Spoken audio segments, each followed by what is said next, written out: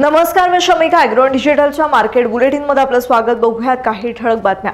प्रमुख बाजारपेठांमध्ये कांद्याच्या दरात घसरण बाजारात सोयाबीनचे दर स्थिर आणि गेल्या आठवड्याभरात राज्यातल्या काही भागात मक्याची आवक वाढली आहे. कुठल्या भागात किती आवक होतीये आणि मका किती भाव खातोय याचा आढावा घेऊयात या मार्केट बुलेटिनच्या शेवटी.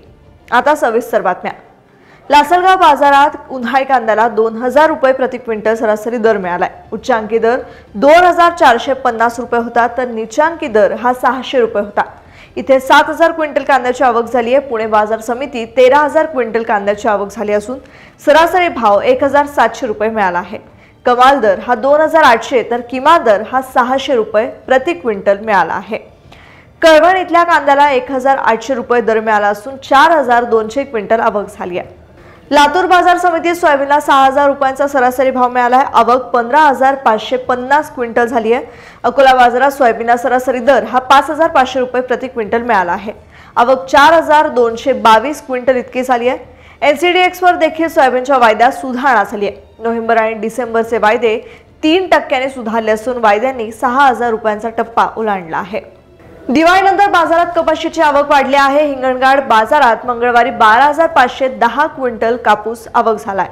सरासरी दर हा आठ हजार रुपये प्रति क्विंटल मिळाला आहे. वर्धा जिल्हा वगळता इतर ठिकाणी दर हे आठ हजार रुपयांहून कमी असल्याचं व्यापाऱ्यांनी सांगितलंय.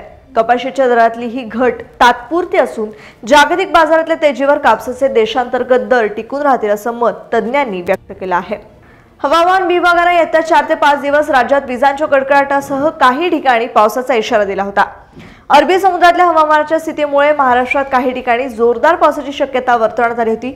सिंधुदुर्ग रत्नागिरीसह कोल्हापूर आणि सोलापुरात अनेक ठिकाणी पावसानं हजेरी लावली वाशिममध्ये काही ठिकाणी अवकाळी पाऊस झाला आहे. नांदेडमध्ये मागचे दोन ते तीन दिवसांपासून ढगाळ वातावरण असून सोमवारपासून पाऊस सुरू झाला आहे. आता बघूयात आजची मोठी बातमी.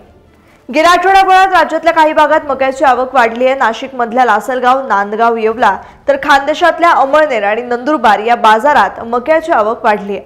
नांदगावमध्ये मक्याची सर्वाधिक आवक होतीये इथे दररोज बारा ते अठरा हजार क्विंटल आवक होतीये सरासरी दर हे सुमारे पंधराशे रुपये लासलगावमध्ये मक्याची आवक ही अडीच हजार क्विंटलवरून सहा ते सात हजार क्विंटलवर गेली आहे. सरासरी दर हे सोळाशे रुपयांवरून दीड हजार रुपयांवर आलेत. अमळनेरमध्ये आवक ही तीन हजार क्विंटलवरून चार ते पाच हजार क्विंटलवर पोहोचली आहे. सरासरी दर हा दीड हजार रुपये ते दीड हजार पन्नास रुपयांवर टिकून आहेत. येवला बाजारपेठेत मक्याची आवक दहा हजार क्विंटलवरून अठरा हजार क्विंटलवर गेली आहे. सरासरी दर हे सुमारे एक हजार सातशे रुपयांवरून दीड हजार पन्नास रुपयांवर पोहोचले आहेत. यासोबतच आजच्या मार्केट बुलेटिनमध्ये ते सांगूयात. अधिक अपडेटसाठी अग्रवांच्या फेसबुक पेजला लाईक करा यूट्यूब चॅनलला सबस्क्राईब करा आणि इंस्टाग्राम पेजलाही नक्की फॉलो करा.